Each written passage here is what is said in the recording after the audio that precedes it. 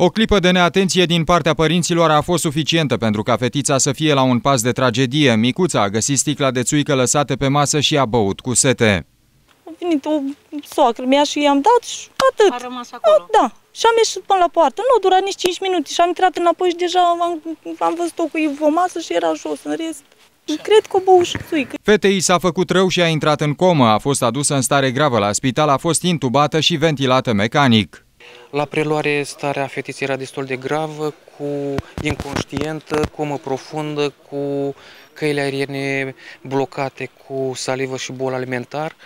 A, pacienta a trebuit uh, intubată și ventilată mecanic la locul solicitării și transportată apoi în stabilă hemodinamic, protezată respirator la spital, unde urmează investigațiile și conduita managementul ulterior. Viața sa a fost în pericol? A fost în pericol, da. Tot în coma alcoolică a ajuns la spital și un băiat de 14 ani care a băut două pahare de țuică încurajat chiar de rudele sale cu care fusese la muncă. Eu când am venit acasă, era să peste gard pe o vecină și l-am găsit culcat jos acolo. Și cu tine. Nimic, să vorbească nimic absolut. Tot vomita, era pe parte acolo. Și ca, da, o băut țuică. Țuică. Practic de cazan. Eu am spus cu un par jumătate, două, două pahare, 200 grame.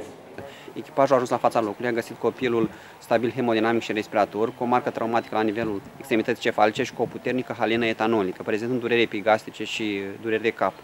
Din uh, discuția avută cu părinții, reiese că acest copil a consumat uh, în cursul acestei după amiez aproximativ un pahar și jumătate de țuică, acestea uh, întâmplându-se după ce au muncit împreună la munca câmpului. I s-a acordat primul ajutor și a fost transportat la spitalul din Vaslui pentru continuarea tratamentului. Reprezentanții protecției copilului au fost sesizați și urmează să demareze anchete sociale în ambele cazuri.